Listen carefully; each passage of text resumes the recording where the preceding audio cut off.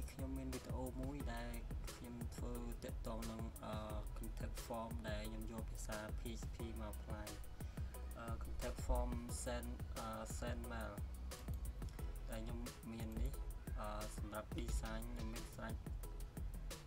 អឺ form design ទម្រង់ design អ្នកទាំងអស់គ្នាអាច download code នឹងដែល ខ្ញុំដាក់នៅក្នុង website ខ្ញុំដែលមាននៅក្រោម link description នៅក្រោមវីដេអូដើម្បី contact form send man នេះបាន ទី1យើងត្រូវមាន file មួយគេហៅថា PHP mailer PHP mailer ហ្នឹងមានដូចជាខ្លះ PHP mailer និងខ្លះ smtp.php ហើយនិង PHP mailer auto load អឺ យើងត្រូវការវា file ទាំង3ហ្នឹងដើម្បីយើង send mail ទៅ mail ផ្សេងទៀតបានដែលយើងប្រើប្រាស់ថា contact ហ្នឹង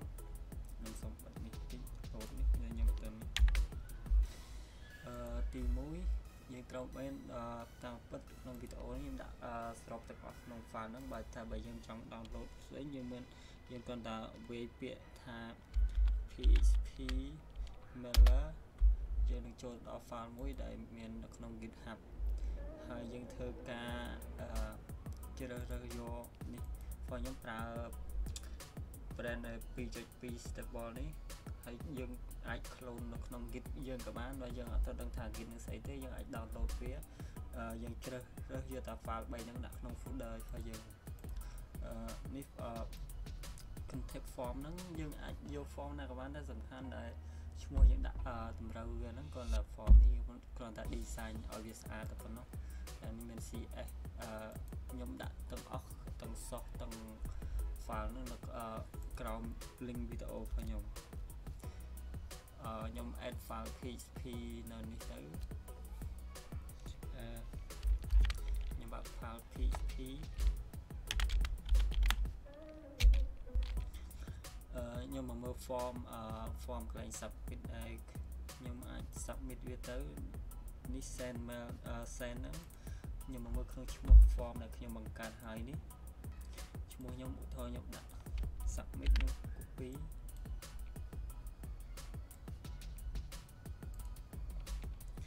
ហើយខ្ញុំដាក់ insert បើសិន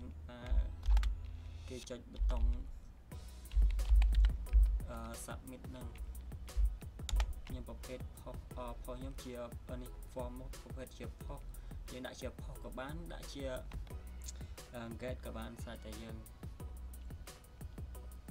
អឺសម្រាប់ខ្ញុំសូមដាក់ជាផុសដុល្លារសញ្ញាដុល្លារលើកផុសហើយឈ្មោះដែលខ្ញុំបាននៅក្នុង form ខ្ញុំបានបង្កើតដាក់ឈ្មោះថា submit អូខេខ្ញុំនេះហើយខ្ញុំបើកមួយហើយខ្ញុំ សេខ្ញុំ require ដែលឈ្មោះអ្នកដែលខ្ញុំឲ្យ download PHP mailer នេះខ្ញុំ require file នេះខ្ញុំមាននៅក្នុង folder contact contact មាន image ហើយមាន folder PHP mailer ហើយនៅក្នុង PHP mailer មានខ្លះ3នេះដែលខ្ញុំហៅទីមួយខ្ញុំ require file យើង require ក៏បានយើង include ក៏បានគឺស្រេចតែយើងអឺ តែប្រហែលហ្នឹងវាមានថាប្រយោជន៍ខុសគ្នាខ្លះខ្លះទៀតដែលវាតកតងច្រើនទៀតសម្រាប់ខ្ញុំខ្ញុំប្រើ require ខ្ញុំហៅឈ្មោះខ្ញុំបើកអឺ save folder មួយគឺខ្ញុំហៅអឺ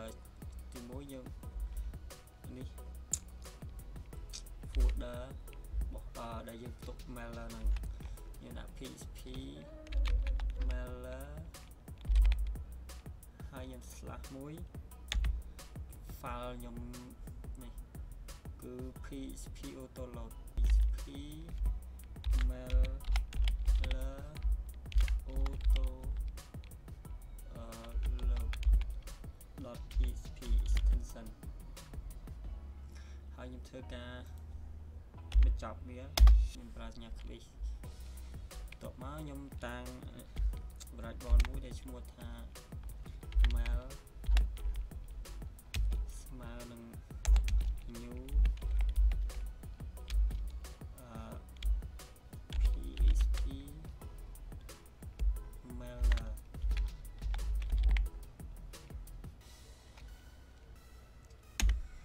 បិទវិញហើយខ្ញុំធ្វើការប្រកាសអឺ port 1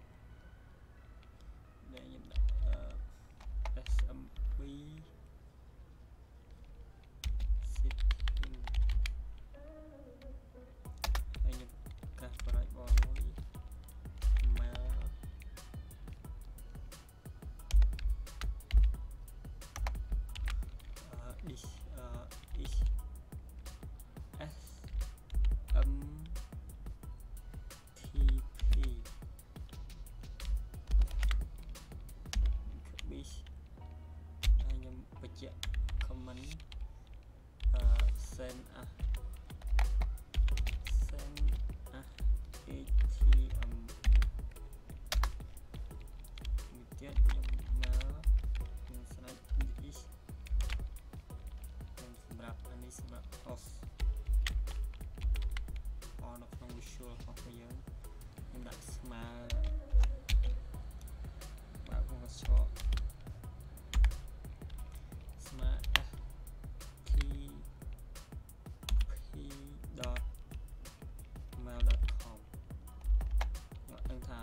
ផ្សេងដូចជា Yahoo ឬប្រភេទ mail ដែល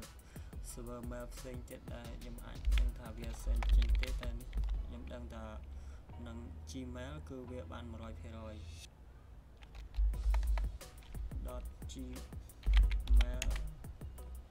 .gmail.com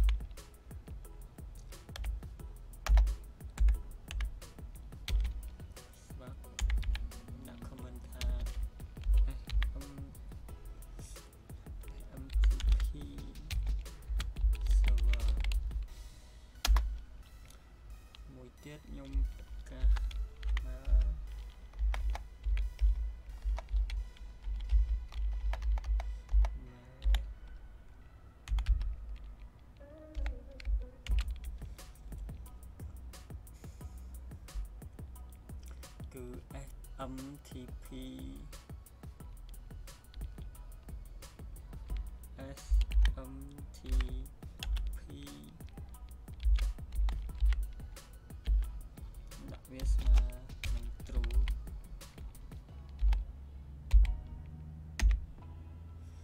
គឺ turn on AMTP order uh, authentication ខ្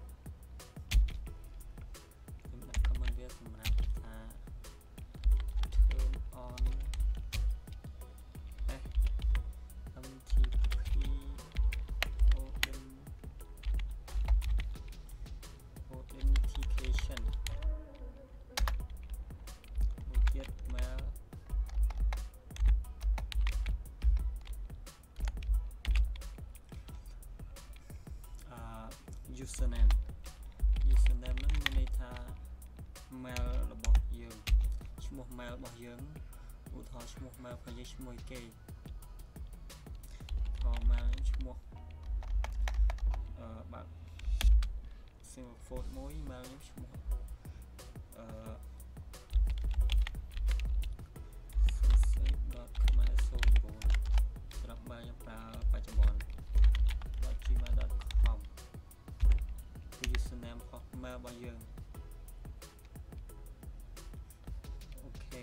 ទៀតគឺ password password របស់ mail យើងនឹងមិនដាល់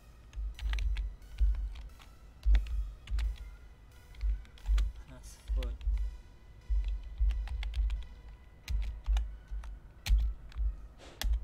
password ខ្ញុំ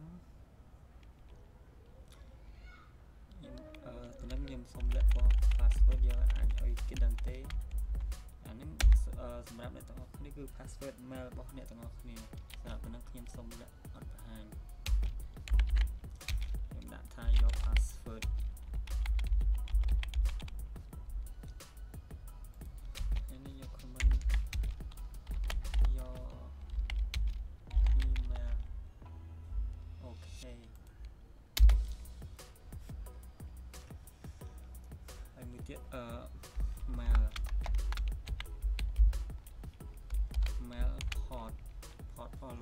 របស់យើងហ្នឹងជាងផាដូចខ្ញុំប្រើ SAM តែច្រើនខ្ញុំ port វាអត់សូវប្រកាន់ទេ port របស់ខ្ញុំតាមដែលខ្ញុំ research តាមឃើញតាមអ៊ីនធឺណិតដែលតាក់ទងនឹង port ហ្នឹងគឺអឺ587ហ្នឹងសម្រាប់ port របស់ខ្ញុំនៅក្នុង page mail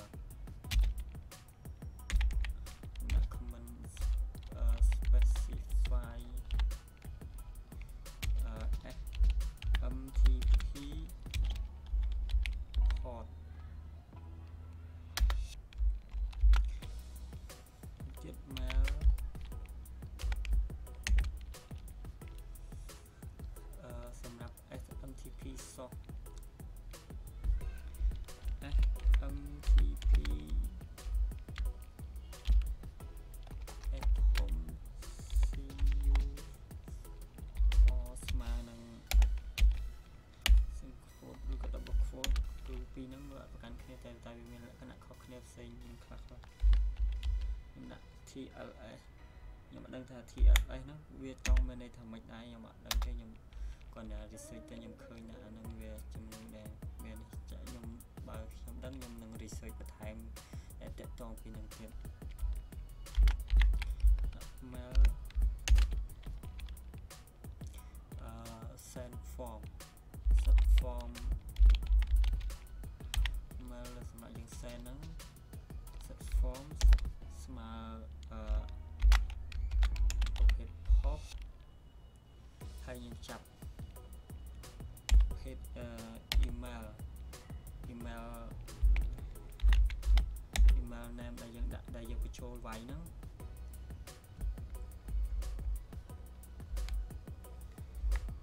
ប្រភេទ email ហើយយើង copy copy ហ្នឹងមានន័យថាយើងនៅមានមួយទៀត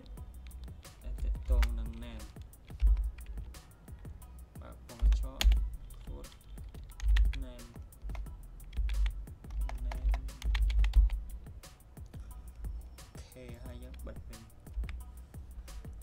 mail name នេះគឺយើងយកចាប់នេះចាប់ពី form for HTML យើងនេះដែលមាន name ហើយនិង mail អានេះសម្រាប់ដែលបញ្ជូន form ដែលយើងវាយបញ្ចូលនេះ name email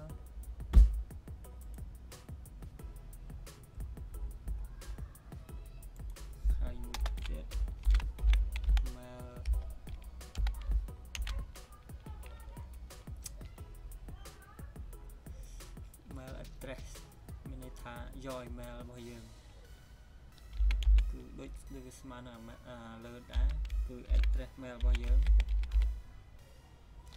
address mail យើងបើកឆក់មក code គឺនោះ mail លើ .khmer.09 gmail នេះសម្រាប់ mail របស់យើង mail address របស់យើងហ្នឹង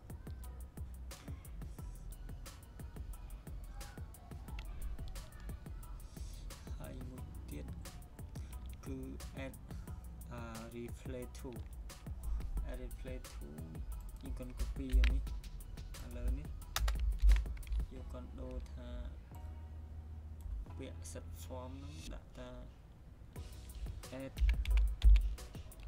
replay to ជាការស្រេច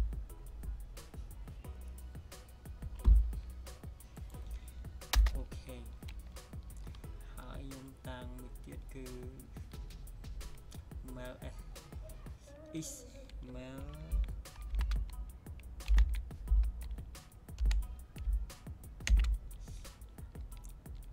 is html ស្មើ true មួយទៀត mail mail subject mail subject នេះយើងចង់ដាក់អីគេចាប់ពីស្អីទៅស្អីដែលយើងមាន form ពីនេះ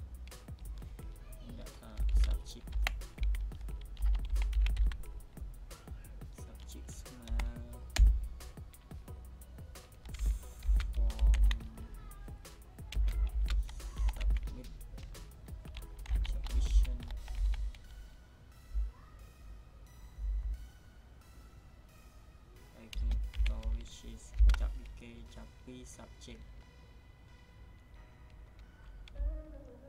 Of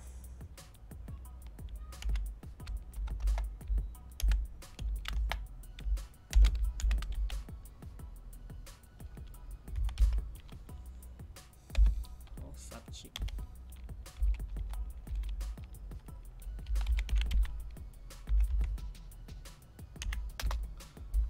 subject នេះខ្ញុំចាប់ពីកន្លែង subject របស់ខ្ញុំនេះដែលខ្ញុំដាក់ថា subject នេះ name subject ដែលតកតងនឹងកន្លែងនេះនេះ subject នេះដែលសម្រាប់យើងចូលថាប្រភេទយើង send ទៅជាប្រភេទស្អីគេប្រភេទអីប្រភេទនេះយើងដាក់ឈ្មោះចឹងហើយមួយទៀតជាប្រភេទអឺ miss អឺនេះ body body ដែលយើងរៀបចំវាស្អាតទៅហ្នឹង ដាក់ mail ដាក់ body ស្មើ design HTML តិច h3 ដាក់ name name ហើយបន្ត string មួយដុល្លារ post name សុំទោស post បើកឆោត food name ហើយយើង name កន្លែងប្រអប់របស់យើងសម្រាប់ចាប់ថា name នោះប្រភេទអីគេហើយខ្ញុំត string ទៀតខ្ញុំបើកនេះមួយដាក់ break ឲ្យវាចុះបន្ទាត់ពេលមើលគេ send វាចុះតាមនេះគេមើលស្រួលហើយខ្ញុំដាក់ mail ម្ដងដាក់ email email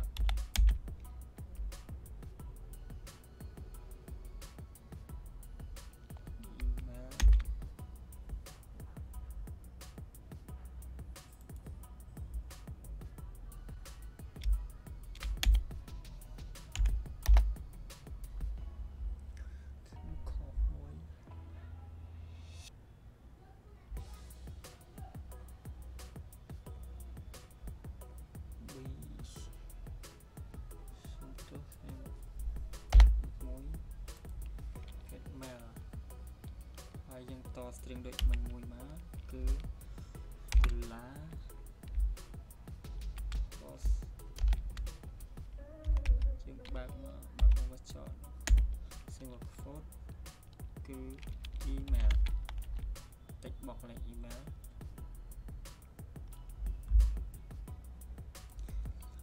អូខេចុះចុះតើយើងត string ចុច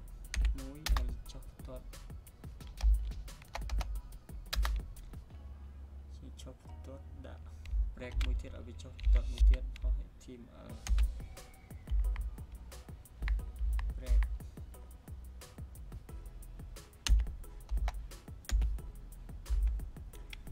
BM ហើយយើងដាក់ថាថា message យើងចង់ថាយើង write message ហ្នឹងចង់អាប្រភេទអីដែលយើងចង់ write ហ្នឹង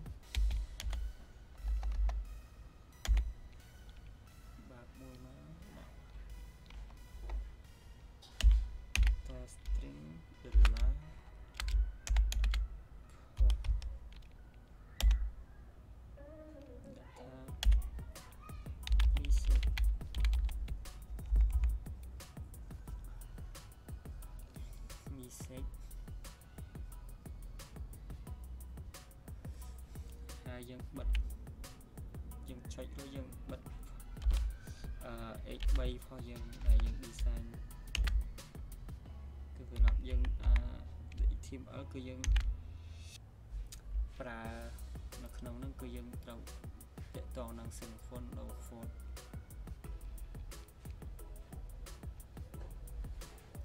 អូខេ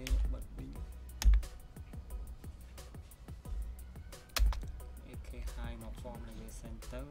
តោះមកខ្ញុំដាក់លក្ខខណ្ឌមួយទៀតគឺបើសិនបើអឺមិនអឺ mail ហ្នឹងមិន mail ហ្នឹងគឺស្មើនឹង send មិនអឺមិនស្មើ send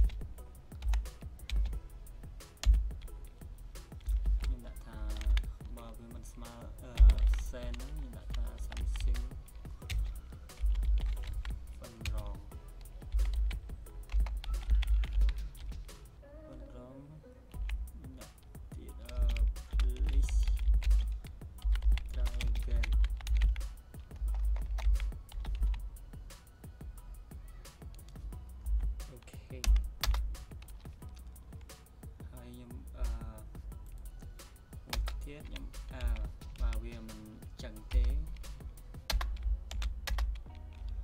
បើវាមិនចឹងទេយើងឲ្យដាក់ res យើងតាំងអាមួយទៀតគឺស្មើនឹង result មានន័យថា result ហ្នឹងយើងត្រូវហើយគឺយើងពាក្យមួយ thank you យើង slash មួយដើម្បី tab t slash t នេះគឺ tab ដកដែលយើង tab មកផ្ទាត់ជាងតែ នេះសុំខ្ញុំយកសុំប្រើដាក់ quote អឺខ្ញុំឡាយប្រើ single quote និងដល់ quote នោះអឺ double quote គឺវា run time យឺតជាង single quote បាទខ្ញុំឡាយប្រើ single quote តែករណីដែលចាំបាច់គឺពេលខ្លះយើងប្រើអឺ single quote ហ្នឹងគឺវាអត់បានគឺមានករណីលើកលែងខ្លះនេះខ្ញុំប្រើ sync queue ហើយខ្ញុំចាប់ឈ្មោះ ចាប់ឈ្មោះដែលគេផ្សេងហ្នឹងគឺឈ្មោះចាប់ពី form ដែលគាត់អំពេញតែគាត់ឈ្មោះអីឈ្មោះអីចឹងណាខ្ញុំឆាប់មកខ្ញុំដាក់ណាមសម្រាប់ចាប់ហាញឲ្យពេលយើង send form ត្រូវហើយសម្រាប់មួយទៀតគឺដាក់ពាក្យមួយគាត់ថា sync queue ឈ្មោះហ្នឹង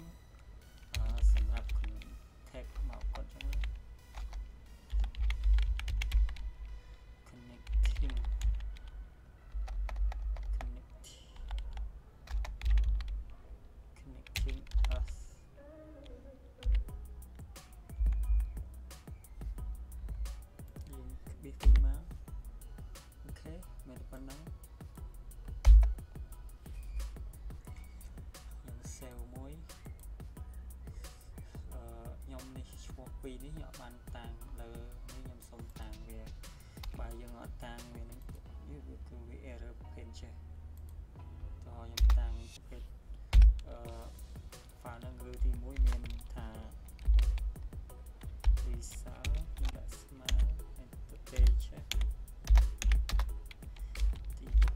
error error ដូចគ្នា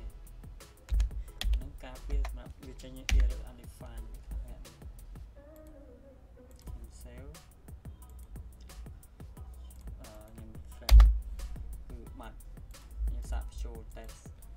mail check send mail right send អូខេ thank you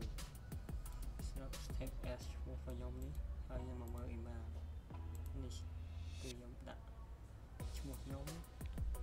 page Gmail ហើយនិង message ហើយខ្ញុំ save មកទៀតឈ្មោះខ្ញុំ page email send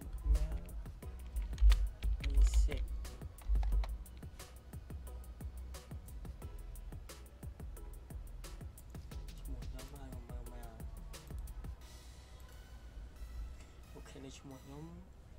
ហើយ email message អឺការបង្ហាញ contact form របស់ខ្ញុំ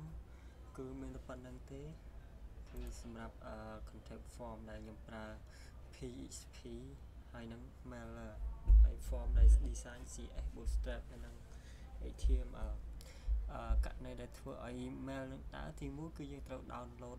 PHP mailer ហ្នឹងតែ mail គឺមានតែប៉ុណ្្នឹងទេជួបគ្នានៅវីដេអូក្រោយបាយបាយ